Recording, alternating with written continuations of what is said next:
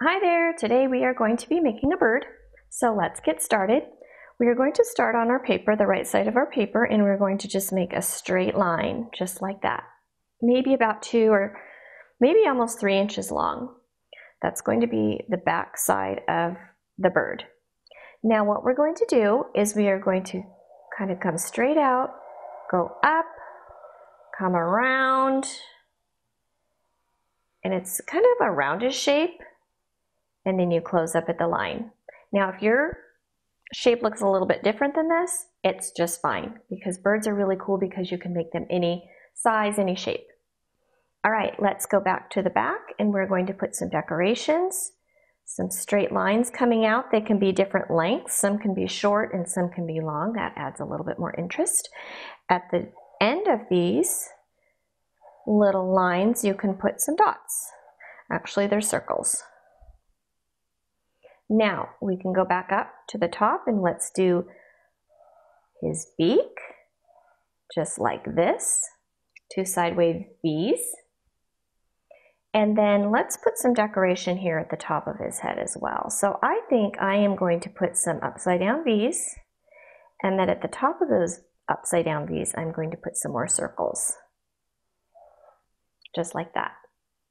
Now this bird is going to have a gigantic eye area. So I'm going to make a very large circle just like that. And inside the circle, I'm going to put a smaller circle and then a dot. Now I think I'd like a little bit of decoration around the eye. So I am going to make some straight lines, some small straight lines coming out from that eye area around. Just like that. Now the body, I think it would be interesting if we could put some designs in here. So what I'm going to do is I'm going to make a straight line here. And then I'd like you to just do whatever kinds of design that you like to do, but this is what I'm going to do. If you want to do something similar, that's fine with me. What I am going to do is make kind of like a sideways U for his wing. And then on the inside of that, I'm going to make another U. And then I'm going to make a little bit more space and then I'm going to make a smaller U. And then inside of that, I'm going to make a line.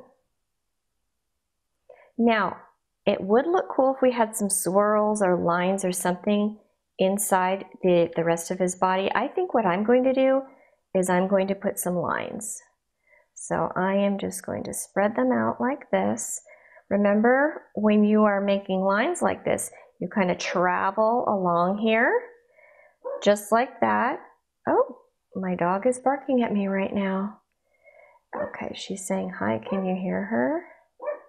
She wants to come in the house. So what I'm going to do is I'm going to continue with the lines until I am happy with the way that that looks. Now I'm going to go down to the legs and the feet and I'm going to make some long V's. Some long V's, just like that. And then I am going to create some toes, just like this, coming out from the bottom of his legs. And I am really happy with that bird.